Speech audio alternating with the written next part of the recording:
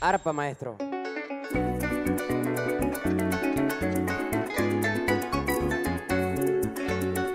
Llegó el hijo del cantante, llegó el hijo del cantante, volvió de nuevo la casta. Yo vine a recuperar eso que dejó mi taita, un camino bien trillado con flores y garzas blancas.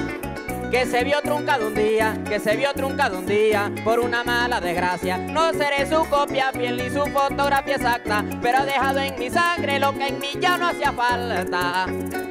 Aquí hacía falta un coplero, aquí hacía falta un coplero, crollito de pura casta, genuino de pura cepa como la flor de albahaca, tan crollo como el becerro que está enrejado de la vaca. Tan crollo como soy yo, eso de talón cuarteado, de totuma y de camasa, viejo en caballo de silla de cabo en el anca, por si sale en la madrina alguna rescachilapa.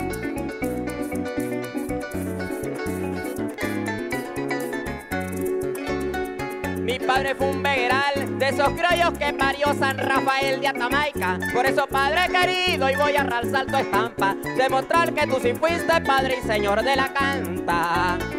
Que no estás en el olvido, no me alabo por ser tu hijo, yo no sufro de alabanzas. Lo que pasa es que yo quiero inmortalizar la canta del veguero que compuso a Dios Barrancas de Arauca. Primaveras en mi llano, que unite en mi llanura, cubierta de garza blanca, travesías de cunaviche y otras que Montoya canta, fueron uno de los versos que inmortalizó mi taita.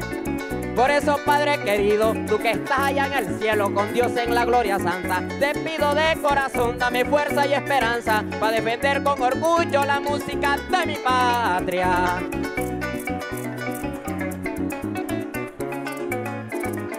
Muchísimas gracias.